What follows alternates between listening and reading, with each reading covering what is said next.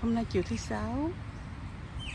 Với lại à, trong mùa dịch nữa, cho nên nó hơi vắng vắng vậy đó.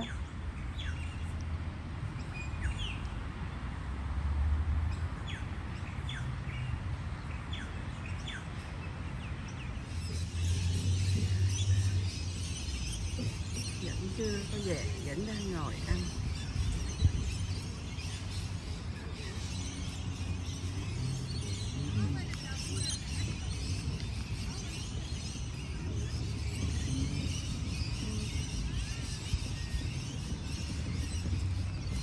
Chiều thứ sáu ở đền Trình chơi um, người ta ra chơi uh, thể dục thể thao.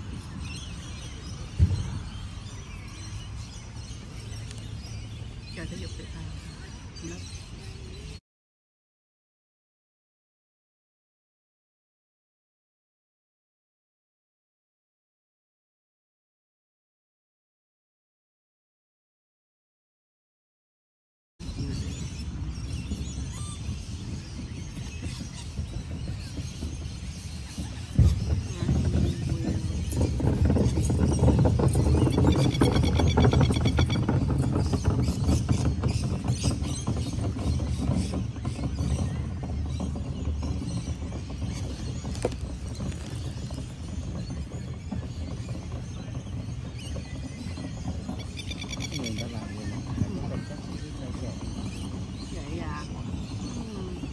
chiều quá ha Ờ, buổi chiều đó nó lên đi Ờ.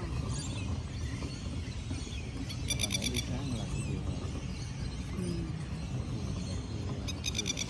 ở đây cái công nhận cái tiệm bán ờ, đồ biển này đắt ghê cái ai cũng thích ờ, mấy hộp mấy hộp ra mà miếng ngon thiệt ờ, Nó làm cái bột nổi á sợp dần rụm mà nãy giờ ăn ăn dễ quá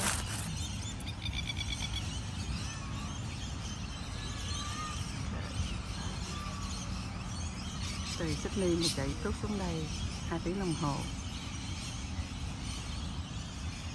Nồi ngắm cảnh. Ok, chừng nào đi về thì nói nha.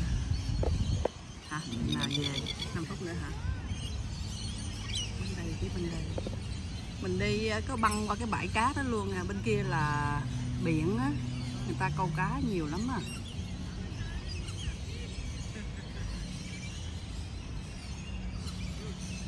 Mình ở đây ra còn gì ta lạ nữa Trước nên nhiều lần quá, Không có gì ta lạ. Không để nói Thì à, nó cũng vùng Dùng biển mà nó giống nhau lắm.